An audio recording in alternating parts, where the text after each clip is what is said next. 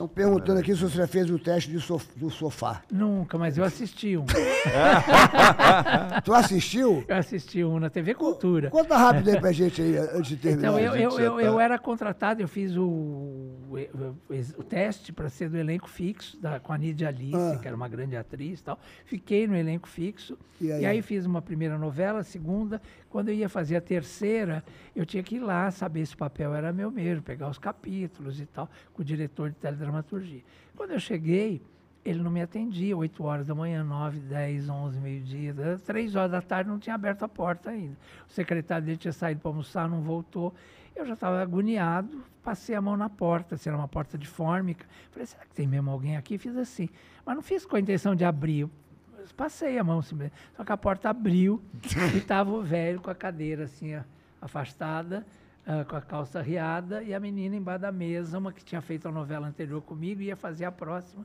Ela estava fazendo uma chupeta pro velho.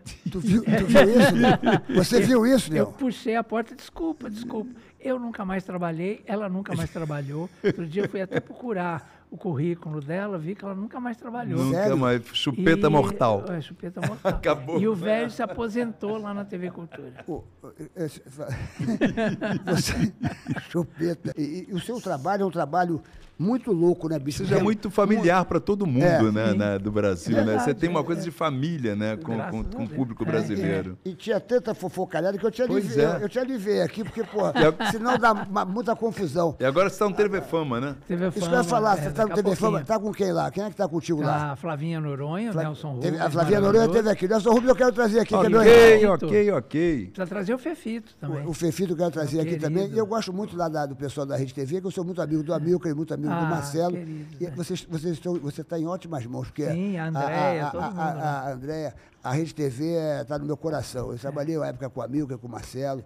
E são pessoas Precisa maravilhosas. pra lá. São pessoas maravilhosas. Eu estou lá no Ratinho, né, Ah, você cara? tá no Ratinho, Eu é estou lá no. Ratinho e- e- e, Aliás, um beijo pro Ratinho. Ô, Leão, para a gente finalizar, sei que você está amanhã depressa.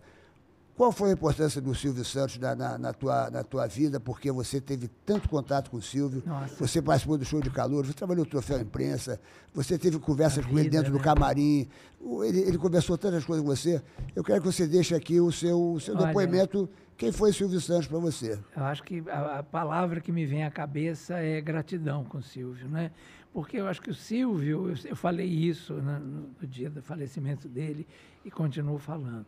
Ah, o Silvio sabia me ler, porque você, cada um tem o seu talento, o seu jeito de fazer as coisas.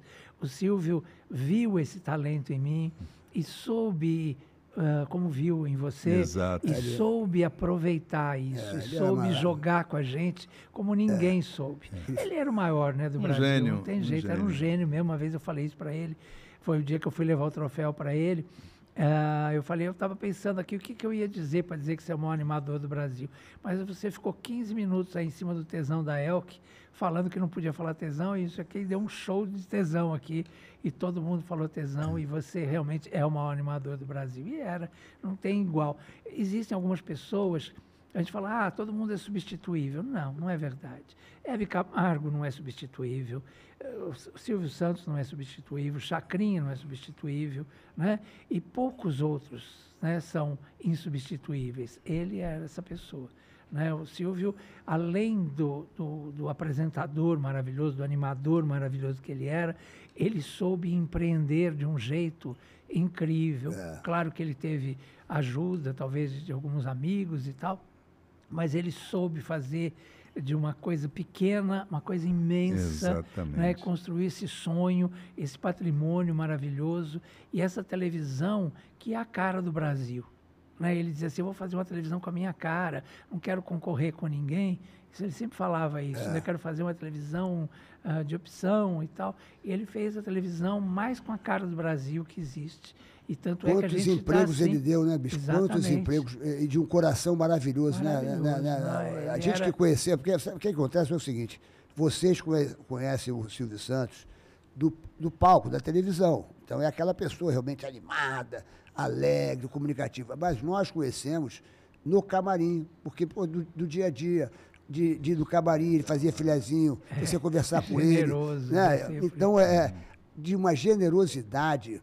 Eu, fui, eu, E- eu, eu me lembro, Leão, eu fiz E grato, né? É, muito Ao grato. seu Manuel de Nóbrega, todos que ajudaram os caminhos. Gratidão dele. total, é, Total, é, e, e sempre muito. Eu me lembro uma vez que eu fui fazer aquele programa do eh, a, a câmera, a- como é que é aquele negócio da nada além da verdade. Ah, sim. E eu, pá, babá, tava ganhando, tava ganhando, ganhando. No final teve uma pergunta, a Magra falou, "É mentira e tal, eu acabei ganhando 5 mil reais. É. Aí ele me chamou no camarim, o rapaz falou, ó, o Silvio está chamando no camarim. Eu falei, Serginho, quanto você ganhou? Falei, ganhei 5 mil.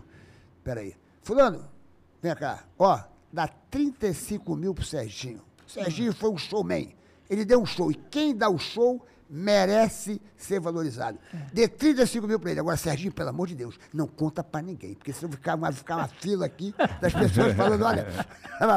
Ele era assim, né, né, Leão? É, hoje a gente pode contar. Ele era um mas- cara, é, hoje a gente conta. Ele era um cara muito justo, assim, muito, muito, numa humano, generosidade. né? Ele, ele sabia, é claro que ele era preocupado com números, com audiência, com dinheiro, mas ele sabia as pessoas que É. podiam trazer coisas boas para a emissora dele. Como ele falava, essa pessoa não serve, é muito legal, mas não É, serve para é, trabalhar falou na minha lá pro emissora, outro, né? é. Então ele tinha essa noção de quem era a rede de apoio dele, e ele sabia jogar com a gente como ninguém. Então Uhum. isso aí é, é gratidão o tempo Gratidão Legal. total, né? É isso. Olha, Não eu, vamos eu, eu, eu me mais, lembro, eu me lembro, Silvio, eu já, já estamos acabando. Tá eu me lembro, eu me lembro, Leão, o dia, um- ele teve um pequeno, acho que foi um princípio de infarto, sei lá, que eu fui visitá-lo no hospital.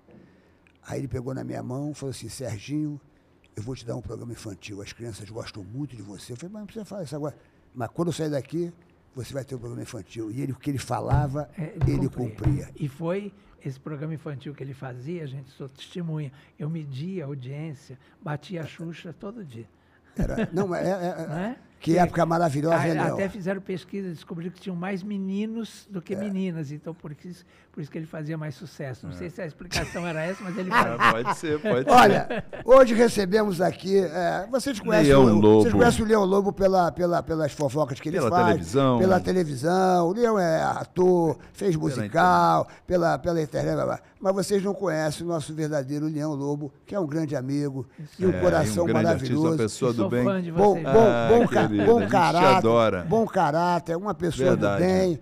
Você, e você está de parabéns pelo seu trabalho. Obrigado. É o seu trabalho fazer fofoca, entendeu? E às vezes você faz uma fofoca e, é- e Às vezes não agrada E o- o pessoal entra pelo cano, mas são fofocas, é o seu trabalho. É você está no. TV Fama? Tô no TV então vamos Fama, ficar e ligadinhos. da noite. Vamos ficar ligadinhos no TV, no, no TV Fama. Com E vamos certeza. receber.